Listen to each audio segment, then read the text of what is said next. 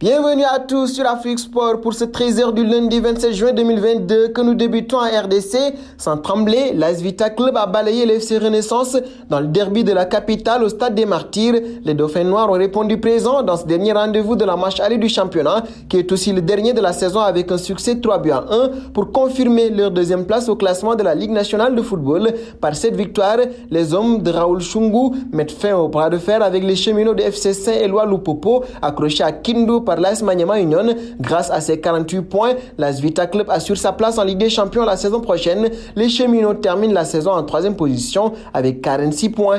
Un pas auprès de Riyad Mahrez désormais, contrairement à Gabriel Jesus et Raheem Sterling, respectivement en partance pour Arsenal et Chelsea. Riyad Mahrez ne compte pas quitter Manchester City. Au contraire, l'ailier mancunien souhaite prolonger son contrat qui expire l'année prochaine. Des négociations seraient prévues en juillet, affirme The Sun, avec l'objectif pour Mahrez de signer un bail de trois années plus une en option. De son côté, la direction voudrait surtout éviter un départ libre de l'international algérien et serait confiante avant même le début de ces discussions. Un pas auprès de Sadio Mané, le champion d'Afrique sénégalais va découvrir son quatrième championnat avec l'Allemagne après la France, l'Autriche et l'Angleterre. Mais c'est la première fois que le natif de Bambali débarque dans un pays escorté par un immense engouement proportionnel à l'attente qu'il suscite chez les supporters bavarois et les suiveurs de la Bundesliga. En tout cas, le club présidé par Olivier Kahn n'a pas hésité à casser sa tirelire pour offrir à Sadio Mané le plus gros salaire du club et du championnat allemand. Si on rajoute ses nombreux bonus et primes,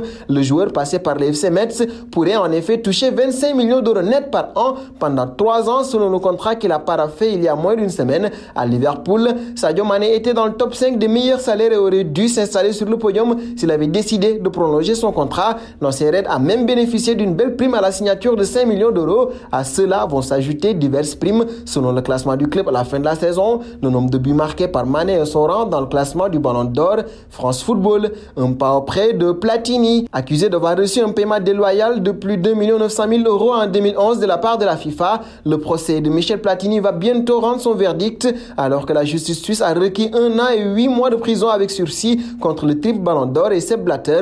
Dans un entretien accordé à la RTS, l'ancien capitaine de l'équipe de France s'est exprimé. Pour l'ancien sélectionneur des Bleus, le combat semble perdu d'avance. Cela fait sept ans qu'ils m'ont enlevé toute ambition que je pouvais éventuellement avoir au sein du football mondial. C'est fini. Sept ans, c'est terminé. Ils ont gagné. D'ailleurs, il y a un homme qui travaillait à la communication de la FIFA et qui a dit, de toute façon, on s'en fout, même s'il n'y a rien, parce que dans sept ans, professionnellement, il sera mort, avance Platini. Et nous filons au Paris Saint-Germain, réputé pour son utilisation du 4-4-2. Christophe Galtier pourrait opter pour une autre option au Paris Saint-Germain. Plusieurs sources, dont l'équipe, indiquent qu'une défense à 3 serait envisagée par Christophe Galtier et pour cause, elle correspondrait au profil de son effectif. Luis Campos, qui travaille en étroite collaboration avec le technicien, orienterait le recrutement dans ce sens. Un exemple significatif serait l'arrivée du Rugo défenseur central Milan Skriniar, habitué à évoluer axe droit à l'Inter de Milan. Le Slovaque avait d'ailleurs sécurisé Achraf Hakimi durant le passage du Marocain en Italie. Nous voici arrivés en laissant cuisse désormais avec trois indices pour connaître notre joueur mystère du jour. Premier indice, je suis un attaquant de 25 ans évoluant en Liga. Deuxième indice, j'ai déjà joué pour trois clubs entre l'Espagne, l'Allemagne et la France. Troisième indice, je suis ambidextre. Qui suis-je? Vos réponses seront attendues en commentaire et nous allons terminer avec CR7 dont l'avenir est évoqué au Sporting. Comme l'indique The Sun ces dernières heures, la formation portugaise a contacté Cristiano Ronaldo pour prendre la température concernant un potentiel retour à Lisbonne. La direction du Sporting serait même confiante à l'idée de pouvoir convaincre CR7 de revenir rejouer pour les Leos. Sous contrat jusqu'en 2023 avec Manchester United, Cristiano Ronaldo va devoir peser le pour et le contre sur les options qui lui sont proposées. On annonçait dernièrement un intérêt du Bayern de Munich, mais le club allemand n'y finalement pas plus loin. Quant à Chelsea, les Blues voudraient aussi tenter leur chance dans ce dossier XXL. Malgré son âge avancé pour un footballeur, Ronaldo a encore beaucoup à apporter pour le football mondial. Et nous arrivons au terme de ce 13h. On va se donner rendez-vous demain mardi pour un nouveau point autour de l'actualité. En attendant, nous vivons le football et c'est sur Afrique Sport.